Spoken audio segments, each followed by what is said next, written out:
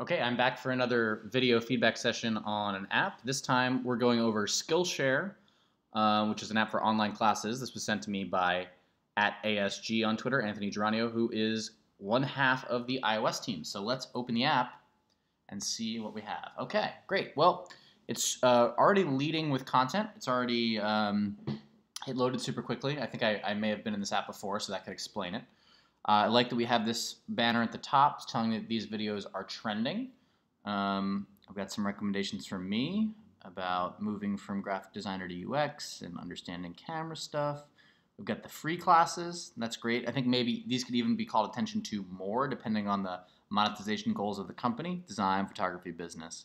Um, some things are showing up multiple times, which I think is okay, but it seems a little bit like things are showing up in too many of these rows. Um, and so it doesn't seem like there's a good enough mix of content. That's not an app issue per se, um, but it is something that I think should be addressed.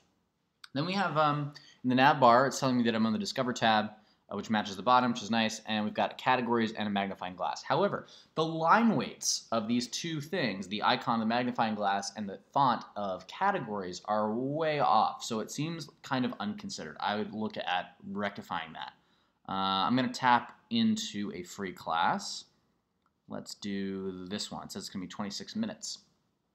Okay, so we've got, seems like a video preview at the top. Um, when I scrolled this, I kind of expected the entire screen to scroll uh, and have the video like enlarge a little bit. That seems like a, a kind of a design trend. Um, not a huge deal that it didn't. I can share the video class here. For some reason, AirDrop is disabled. I don't think you need to disable AirDrop, um, even though it is not used a ton. Um, when I do want to use it, I want to have that option there. So disabling airdrops is a little bit customer hostile. I wouldn't recommend it. Uh, okay, we can see a bunch of information. 98% of people like this class. Uh, I've got an enroll button. I can see some student projects. I can swipe between the tabs, which I, I hope to be able to do, and I'm glad that I could.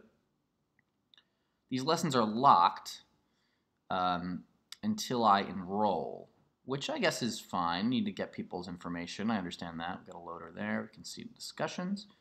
Uh, and this collapses, which I think is kind of nice. The, the title bar, the segment and control bar there. Okay, I'm going to watch the introduction, see how the video player works. Okay, so I'm going to unorientation lock my screen, rotate. Okay, when I rotate the screen, I expect this video to go full screen like the YouTube app, but uh, I, that doesn't work, so I'm going to have to tap it myself. And I can't hear the audio because I'm recording this, but um, video quality seems pretty good. I can see the lesson there. I can unfull screen it. That and that should be animated when you're uh, doing that full screen transition that quickly. It's super jarring, jarring to have that not be animated. I'll like a comment. Okay, that's another time to do this modal. Um, this modal is is okay. Uh, it's it is explaining somewhat of the benefits of signing up, but it doesn't make it seem that exciting to sign up. And what happens when I tap sign up? Same thing. Pretty bland. Um, sign up screen. I think a lot can be done here to make this more enticing. I'm going to tap Facebook. Get the Safari View Controller, tap OK. I already have a, uh, a Skillshare account, so uh, it signs me in right away. And now these lessons should be unlocked. Uh, but now I actually have to take another step.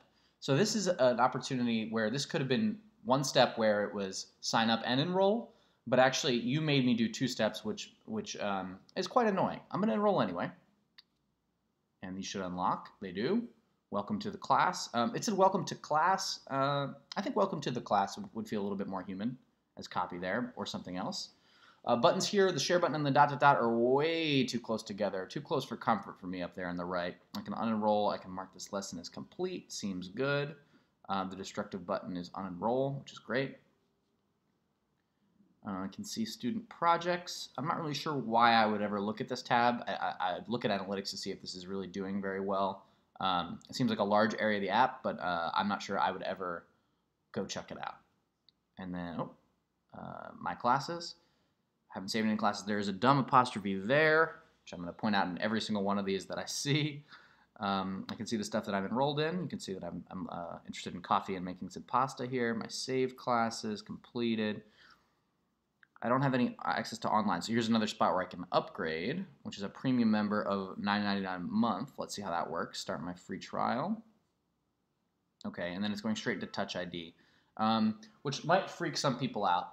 Another thing is if I cancel the uh, the in-app purchase, you don't need to pop up an alert telling me that I canceled, uh, and especially calling me a user here is, is not great. Um, and putting a period in the in the title of the alert view and not in the message, really those should be swapped. But in in reality, this alert view shouldn't be coming up at all. If I cancel the in-app purchase, I did that. Um, I made that action explicitly. If the in-app purchase failed for some other reason, that would be an appropriate time uh, to show an alert. Um, but one that I hope would have a little bit more care on how it was and how, it was copywritten. Not really sure I can review the activity screen because I don't have any activity. Uh, profile screen um, seems all right. It's, it's a little bare bones. Uh, I'm sure once I completed any student projects, they would show up here. But if I don't ever do that, um, I'm probably never going to come back to this tab again. I think it could be more engaging uh, as well. Take a look at settings. Uh, settings did a push, uh, which hierarchically doesn't make a ton of sense. I think that would be better as a modal transition with a done button instead of a back button. Uh, I understand some some reasons for doing it, but I don't really think it makes sense here. Um, okay, context support, share feedback. This this could use a little bit more iconography. It's feeling a little bit boring right now. Um, these terms of service and privacy policy. I, I, assume they don't have chevrons because they're modal, which is fine, but they don't even really look tappable, a lot of these things. Um, if, the, if you made the text of these uh, button cells, I like to call these button cells, blue or the tint color instead of black, they would look a lot more tappable, and that would also allow you to make the sign out button a destructive, uh, a red destructive color, which would also let you know, uh, don't tap this, otherwise you're going to have to go through the pain of signing back in again. Um, let's take a look. I can favorite these. I don't know why I would do that. Oh, I crashed the app. So if you want the log for that, let me know. Uh, let's go back into it, Skillshare.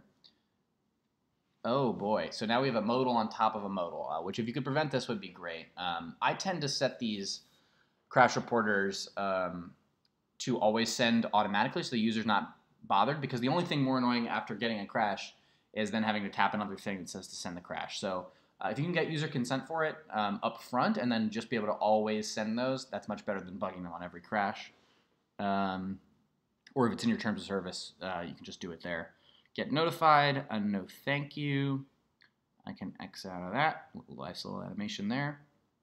All in all, pretty pretty solid app. Um, everything's organized in the way I would expect, and uh, the premium features seem to be explained in a clear way.